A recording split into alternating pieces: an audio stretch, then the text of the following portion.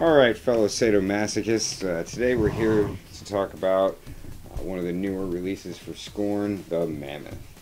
Uh, this one was uh, particularly difficult to uh, assemble and paint uh, for me. one of the earlier, one of the newer attempts at actually painting something in multiple pieces, is this one absolutely required. Definitely had to magnetize the tusks here, seeing that they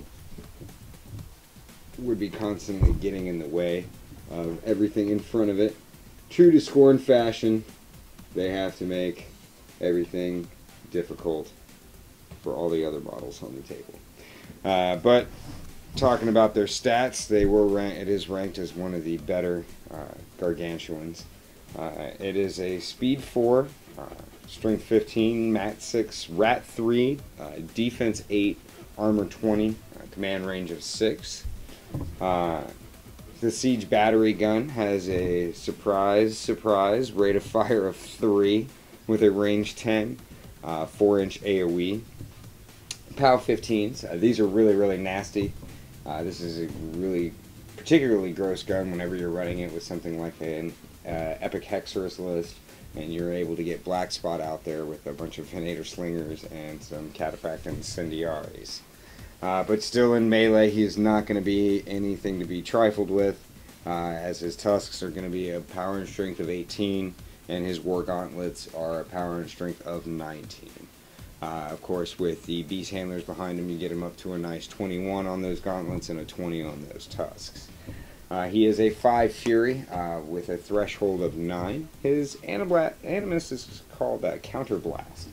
Uh, when an enemy model ends its movement in this model's command range, this model can make one normal melee or ranged attack targeting that model. Then Counterblast expires.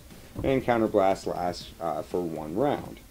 Uh, this is going to be a particularly, you know, nice, nice uh, one to run, uh, especially whenever we've got our new Mortitheurges out there. Uh, so it just so it gives you an opportunity to not drop just four on your turn, but also drop a fifth one on your opponent's turn. And that's always really nice. Um, it does have assault, uh, as well as uh, bulldoze, uh, which is going to be really great for clearing some stuff out of there. And of course, you put them on a P. Morghoul list with some uh, Titan Gladiator, and you are going to get that nice 11 inch trample there. It does also have a critical pitch, so on a critical hit, instead of rolling damage normally, you can choose to have this model uh, throw the model hit.